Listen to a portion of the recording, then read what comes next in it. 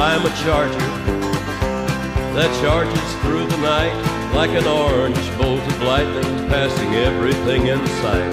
I'm the best